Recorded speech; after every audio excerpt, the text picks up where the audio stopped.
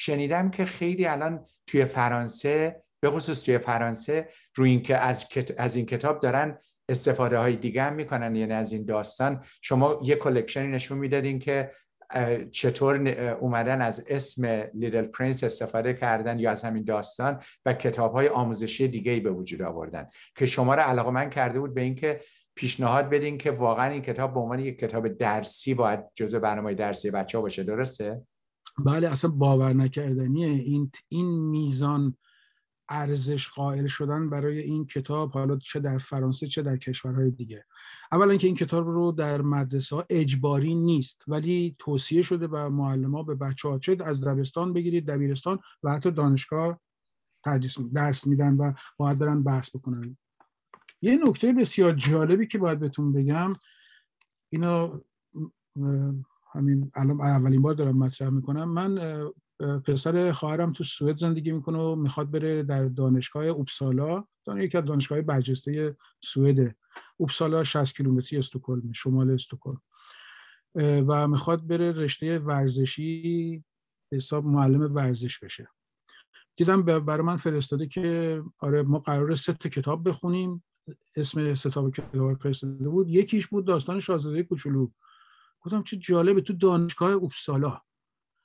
اونم بهش گفته بودن که بره ترجمه گونوربانگ رو بخونه. و بعد من چون خودم اون ترجمه دارم بهش گفتم که ببین بیا با هم اینو با هم بخونیم و این یه سری اشکال داره. اشکالاشو برو تو مدرسه بگو. گفت نه فکر نمی کنم اینقدر یه فرصت بشه من بخوام راجع به این کتاب راجع به اشکالات اون ترجمه بگم. چون یه چند تا واژه فرانسوی هستش که مفاهیمش کاملا متفاوته با اون چیزی که سوئدی نوشته حالا به حال.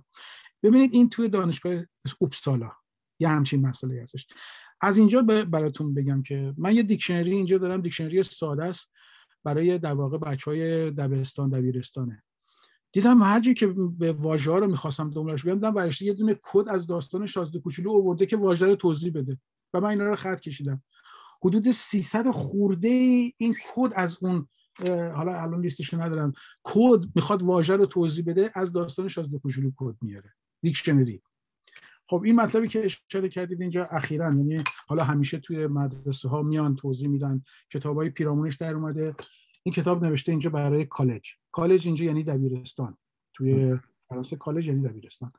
این این کتاب شازده کوچولو برای کالج درست شده و من وقتی این دیدم حیرت زده شدم. چون این کاری که حالا من کرده بودم هفت سال پیش که توضیحاتی داده بودم راجع به فرق مایل با میل چیه یا اپریوازه یعنی چی؟ اینا رو دیدم اینا رو تمام اینجا تا این کتاب حدود 60 دفعه اینا هم توضیح دادن راجع به این واژه ها برای کی؟ برای فرانسوی. پس من برای من خیلی خوشحال شدم که چقدر خوبه. من دارم برای ایرانی توضیح میدم. اینا دارن همین واژه رو برای فرانسوی توضیح میدن. واژه‌ای رو که ما می‌خواستیم توضیح بدیم. این یک بگو اینو. ببین الان همین چرا اینه که میشینن 170 بار حالا دیگه ترجمه می‌کنن چرا نمیشن کتابای مثل اینو ترجمه کنن؟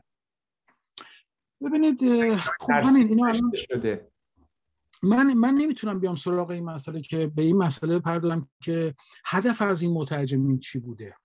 البته می‌تونم بفهمم که شاید مثلا کتاب آقای مثلا به عنوان نمونه بگم آقای قاضی آقای نجفی کتاب آقای قاضی رو خونده بوده.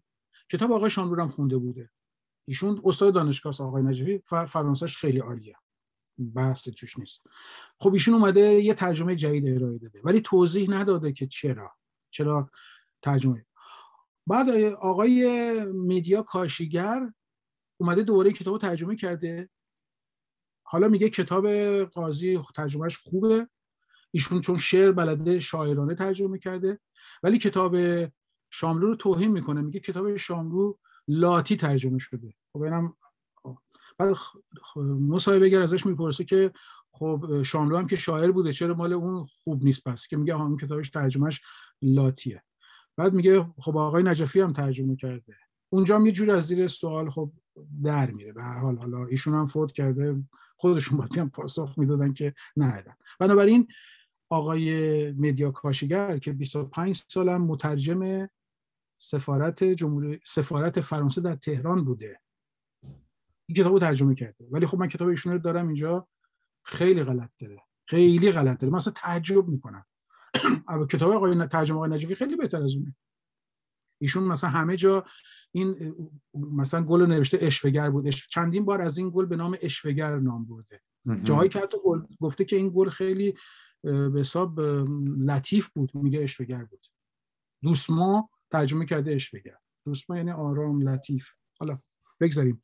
خب بعد از اون دیگران هی اومدن ترجمه کردن. حالا این سوال شما اینجوری باید پاسخ